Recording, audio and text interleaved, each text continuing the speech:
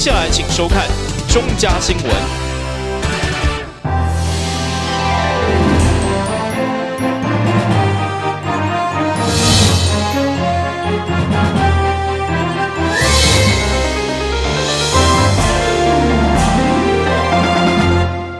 观众朋友，大家好，欢迎收看中嘉新闻，我是蔡小军。新闻一开始要先带你来看，迈入第四届的美丽基隆影像甄选竞赛入围名单公布了。今年首度限制参赛作品长度为一分钟，考验参赛者的创意及拍摄剪辑的功力。结果入围的二十部作品让评审大为惊艳，有的影像唯美，有的剪辑方式变化万千，更有突出的戏剧张力，让评审印象深刻。现在就抢先带您来欣赏。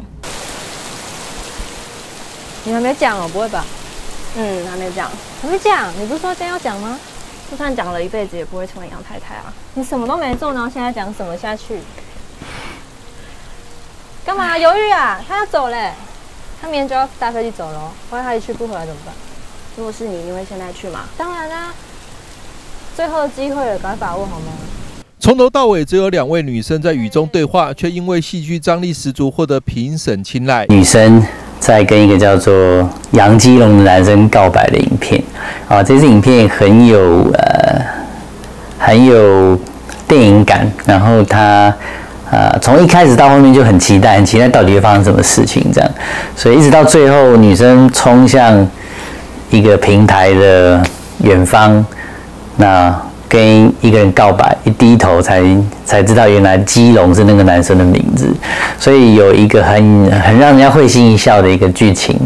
第四届美丽基隆影片摄影创作比赛影片组入围名单公布，今年首度规定参赛作品影片长度限制为一分钟，考验参赛者在短短时间的叙事能力、创意与拍摄剪辑功力。曾获奥斯卡金像奖最佳视觉效果的评审李家怀就很支持这样的做法。除了提供奖金给参赛者鼓励之外，我认为基隆市政府也做了一个很好的决定，就是将影片的规格定在一分钟以内。这个跟市面上的一些比赛有了市场的区隔。那一分钟的叙事能力和条件会跟其他的片场啊有所不同啊。这除了是给参赛者的挑战以外，也可以啊发展。更多创意的可能性。Surrounded by the sea, encircled in endless blue。连半世界的美丽基隆已经成为影像创作者发挥才华的指标性平台。第二年担任评审的福尔摩沙国际电影节创办人、知名导演洪马克表示，今年参赛影片水准普遍提升，影像语言接近新媒体的风格，同时又很有电影感，让几位评审在讨论入围名单时伤透脑筋，也强调入围就是得奖。一个很特别现象就是，今年很多的创作者，他的影像语言慢慢越来越接近新媒体的一个叙事方式，哈。那但是同时又保有电影的那种。说故事的一种味道，所以今年其实在整个创作的水准上，其实质感上都有大量的提升。哈，那其中也不乏有很多很特别的作品哦。那所以今年在评审会议上，其实花了蛮多时间在讨论，就是每个评审都有不同的观点，所以大家都很用力的在交流啊。那我们花了很多很多的时间，终于评选出最终的的这这份名单。美丽基隆影片及摄影创作比赛颁奖典礼将在十一月二十六号下午登场。影片组部分首奖奖金十二万，二奖六万元，三奖三万元。同时将选出三名优选及五名佳作，还有人气奖三名。摄影组部分则选出基隆之美十二名，优选五名及佳作十五名。记者张启腾，金融报道。佛光山极乐寺宗门馆即日起展出汉墨飘香二零二一年基隆市教师书画会会员联展四十六幅作品，让信众、社会人士透过美学及艺术欣赏，疏解内心对生活、工作、疫情的压力与不安，提升了心灵的安定。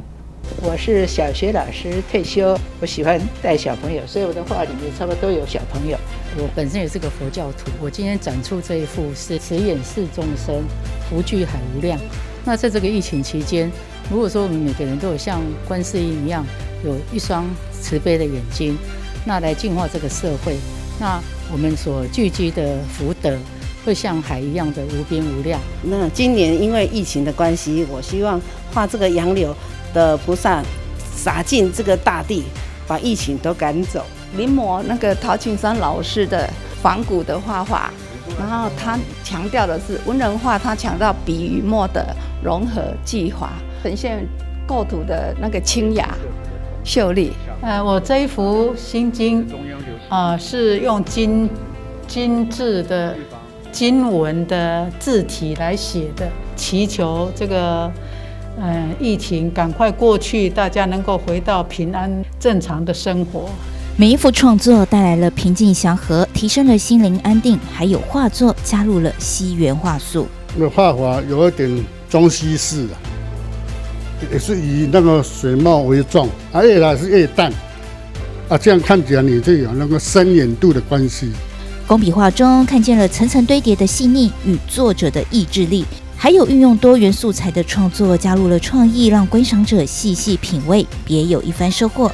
来自二十六位现任或退休教师，共四十六幅作品，带观赏者深入看见基隆市教师书画会坚强的实力与为社会祈福的心意。佛光山极乐寺中门馆十一月推出了汉墨飘香，引领大众进入抽象渲染与写实工笔画的天堂。有书法，还有这个书画教师这个书画会啊，他们有一句话说啊，喜欢把他们的作品。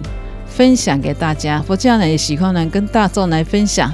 啊。我想呢，借由这一次的啊这个书画会的这个展览，我想给我们这次的防疫啊，好能够带给啊大众这个心灵的沉淀。也希望透过啊这一次的这个展览，能够带给大家欢喜跟自在。这档展览即日起至十二月三十号为止，欢迎民众一块来感受汉墨飘香的魅力。记者蔡小军采访报道。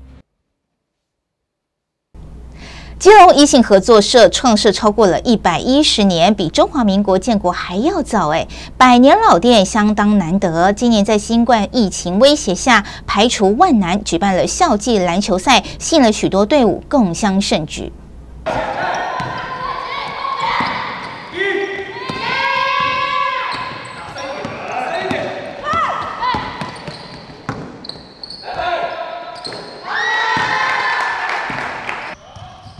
这是桃园市大成国中对上我们基隆正滨国中女篮队的精彩对决，而大成国中女篮队参加全国篮球的乙组联赛冠军，实力相当的坚强。他们特别来参加我们基隆一信杯，显示一信杯在全国篮球赛事当中相当受到欢迎，特别来到基隆与各队切磋球技。因为我们基隆一信是成立在清宣统三年，那清宣统三年是西元的一九一一年。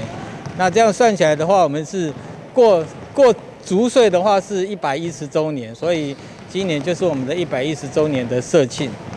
那我们在一百年的时候，我们也办过很大规模的高中甲级的 HBL 的那个篮球赛。那这一次呢，刚好疫情的关系哦，哇，一直在挣扎。最后呢，在这学校还有我们教育处处长的大力的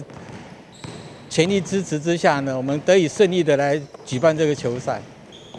这个基隆一信杯篮球赛传统，除了要提升球技之外，还要推动生活礼貌，对于同学们有潜移默化的功能，让外界留下深刻的印象。当然了，一信杯也很重要的一点就是，呃，希望很非常重视我们选手的一个素质跟素养，所以啊，每次呃活动办完以后，整个场地都是非常的清洁干净，不会让学校或者是我们。租借的场地有任何的一个呃不愉快的事情，所以希望我们今年的呃今天参加的所有的选手一样秉持这样的精神，让我们的一信杯永续发展。诶，大概是一个礼貌嘛，就是运动精神，就是比赛完了，谢谢裁判，因为裁判很辛苦。那谢谢对方教练，因为对方教练带球队来跟你比赛。那还有就是基督徒要帮你做那一些事情。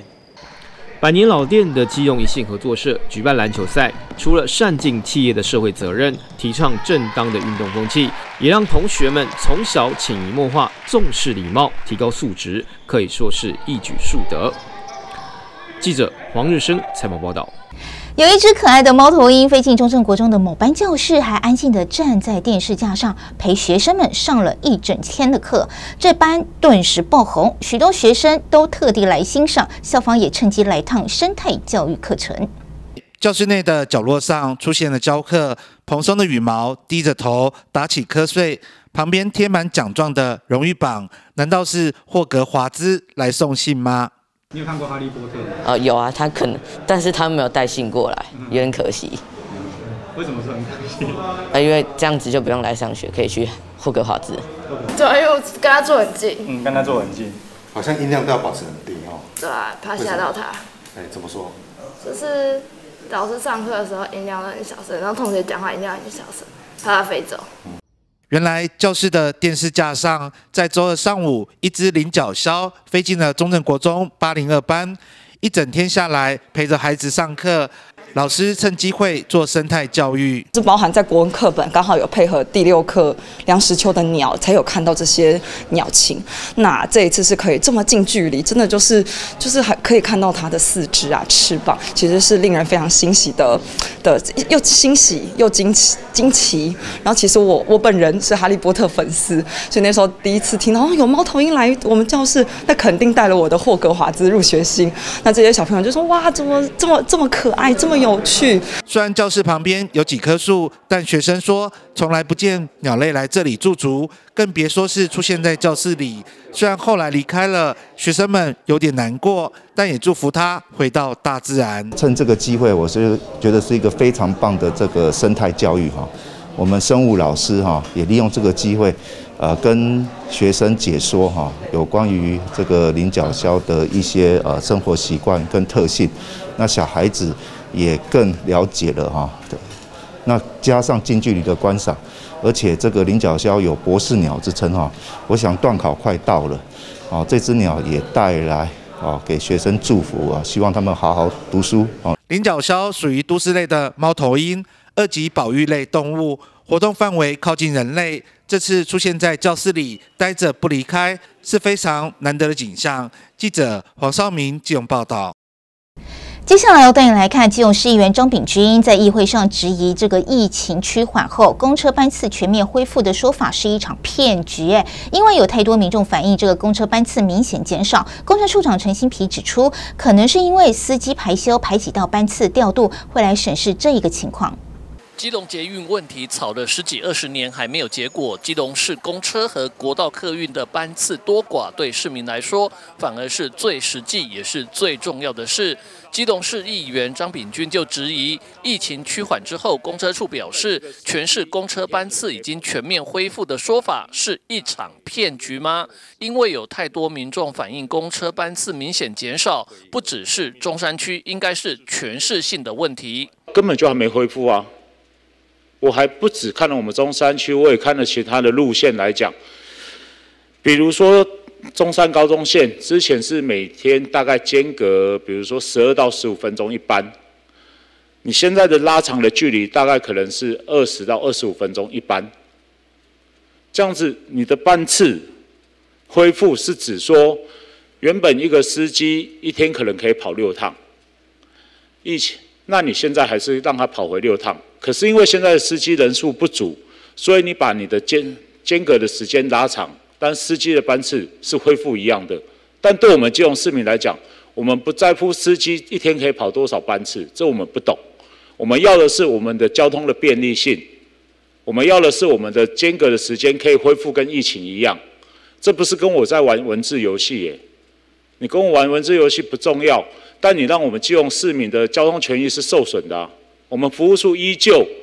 还是有一直有人打电话来在问这部分。对于议员的质疑，公车处长陈新皮指出，以中山区某条路线来说，可能是因为公车司机排休排挤到班次调度，公车处会来审视这个情况。因为我们公车司机他本身他有这个一些年假，哦，这是特休假，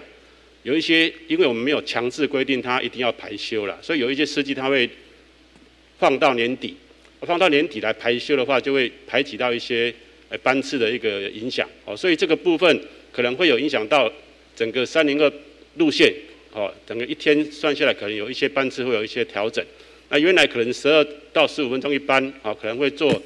两三分钟，啊，比如说十五到十八，啊，这种类似这种间距的一个调整。那当然离峰时间，啊，它还是会稍微拉拉长一点，啊，因为离峰时间的那个乘客会比较少一点。那有关班次这个问题，我们会加强来审视了，哈，那这个部分，呃，跟张局座来做一个报告。不过，张炳军强调，根据他的了解和调查，是因为公车司机退休不少人，缺额并没有补齐，才会有减班的问题。而除了市公车之外，像是国光客运，在疫情趋缓后，也没有恢复原有的班次，影响到通勤市民朋友的权益，要求市政府交通处也要关心这个情况。你会发现到，最近很多市民是对我们的这些大众运输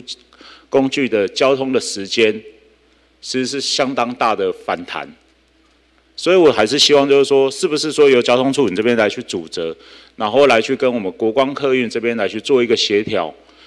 是你一定要恢复成像疫情前的原有的班次，然后至少不要再让这些我们基隆市民要前往台北或者是其他县市的时候，往往在我们的候车亭那边浪费时间在那边等，因为这部分其实如果你要是有在关心的话。很多市民一直都有在讨论到这部分。记者吴俊松基隆报道。我想要月入百万赚大钱，我想要住豪宅开名车，我想要天天 shopping 名牌包，顿顿吃高级料理。来，现在签下去，你就是人生赢家啦！醒醒吧，天下没有白吃的午餐。要确认真实性，以免求职不成反受害。基隆市政府关心您。没问题，我现在立刻发 email 给你。科技带来便利，缴纳地价税看我一直搞定。现在只要使用行动支付业者的 app，扫描税单上的 QR code 就能轻松完成。除此之外，还有其他多元缴纳管道，也能让你轻松缴纳。线上缴纳一指通，在家搞定，真轻松。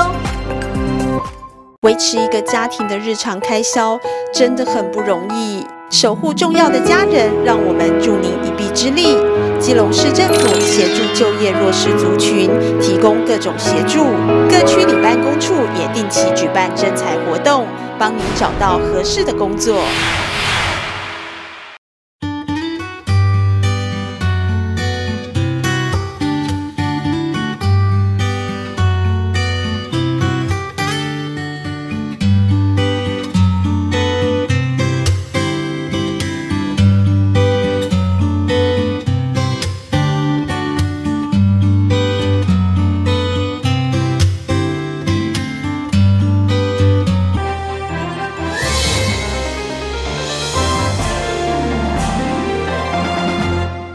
回到中嘉新闻现场，对于接种两剂高端疫苗的民众，可能得再补打其他疫苗才能出国这一件事，基隆市议员庄荣清就怒批了中央防疫的作为只有一个乱字可言。他更以日韩等邻近国家准备施打第三剂，甚至预购好明年上亿剂疫苗为例，质疑中央的超前部署在哪里。另外，对于外送员权利维护的部分，庄荣清也要求基隆市政府比照六都制定自治管理条例，在下会期送市议。会来审议。根据基隆市卫生局方面的统计，基隆市民施打高端疫苗第一剂有八千多位，完成第二剂也有六千多位。不过，这些民众如果要到美日等国家，可能得补打其他疫苗。对此，基隆市议员庄荣清直批中央防疫作为乱。他更以美日等国已经准备施打第三剂，日韩等更已购置上亿剂疫苗，准备明年施打。质问中央的超前部署在哪里？说我们邻近的国家都已经要朝第三季了，我想我们还是也要朝这个方向来进行啊。那疫苗采购，明年疫苗采购，人家都买那么多，那我们呢？哦，所以说为了保护我们这个台湾民众的这种免疫确诊，别的国家，日本、韩国、新加坡，包括美国，都已经要打第三季了，